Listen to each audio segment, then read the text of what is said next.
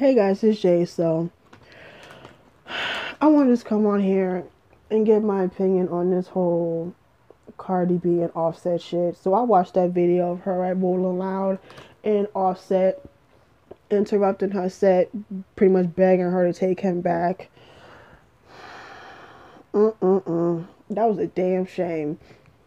That was just like the worst timing. Like, ever. Like, why would you pick that moment? And then the thing about it is like, I, it's like, really? Like, really? Like, I mean, it's been known, if you know anything about these two, that he's been accused, he's, it's been so many stories about him cheating on her multiple times throughout their entire relationship. You know what I'm saying? And like he's embarrassed this woman time and time again. Like you don't do your wife like that. You don't do the mother of your child like that. That's fucked up. And then you pick this moment that's this pivotal moment in her career to pretty much make it about you and kind of pressure her to take you back. You know what i'm saying? Like i that's not cool. That's not cool at all. And for rolling loud for her team because I'm hearing that her team was in on it. They let they let him do that. It's like what? First of all, she need to fire all the motherfuckers. Her security, her publicist, whoever in her team allowed to let this shit go on. Them motherfuckers need to get fired. And Rolling Loud for even thinking this shit was cute. Because of course everyone is talking about it and it's like, okay, it's you know what I'm saying? It's like they thinking, oh right, it's good for us because we're getting, you know, this shit's going viral and everyone's talking about it. You know what I'm saying? But it's it's fucked up. Like, it's uh, it's just like I never understood the fact that people who cheat on in their relationships, especially when you're married, it's like why be married if you're gonna if you're gonna marry me but still cheat on me? Why be married? The same thing with like um, what was it? It was Usher, right? I think it was Usher. Like when he was married to his first wife, he cheated on her, and then I'm I'm thinking the wife that he's currently married to now, he's cheated on her. So it's like again, if you're going to cheat, why be married? Just be single. Or unless people have like some secret open relationship that we don't know about, but I don't think that's the case with Cardi and Offset. And a lot of people think this is a publicity stunt. I don't think this is a publicity stunt. I really don't think it's I don't really think it's that deep to I mean because people talking about oh it's you know because they're coming out with new music. People are gonna check out their new music regardless. You know what I'm saying? She's Cardi B and he's Offset. Two of the two some of the biggest artists that's out right now. So people are gonna check out their music regardless. I don't think this shit was for a publicity stunt. You know what I'm saying? But when you think about it, it's like you ain't see Jay Z pull this bullshit off. Cause I mean I don't know when he had cheated on her, cheated on Beyonce, but that's like Jay Z coming out during Beyonce's set at Glastonbury to apologize to her for cheating on her.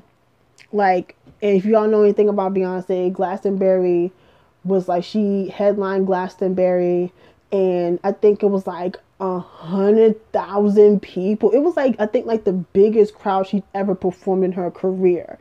Just imagine Jay Z taking his ass on stage, you know, apologizing to her because he cheated on her, and it's like you know what I'm saying. And then like I said, and then you know you got people like Fifty Cent in the game and T.I. pretty much telling her that she should take him back. First of all, T.I. shouldn't say nothing about nobody's relationship because T.I. done cheated on his wife I don't know how many times. The fact that him and his wife are like I guess into threesomes. How come in one of these threesomes he knocks up the other women? How the hell really? This is why I'm single because I don't got to do with this bullshit. But this shit I feel bad. I feel bad for Cardi. Like I really feel bad because it's like you take you. It's like you took this moment away from her. Like this was her big moment in her career, and you make it about you because you the one decided to fuck every Instagram thought that slid in your DMs. Like, come on now.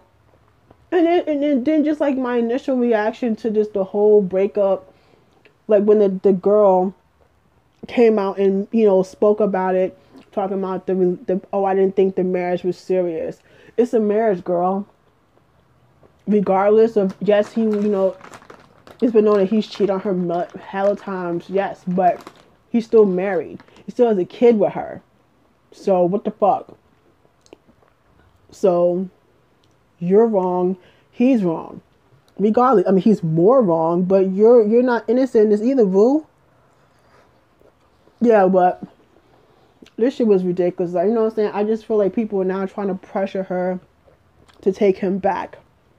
And at the end of the day, the only decision is is ultimately up to her.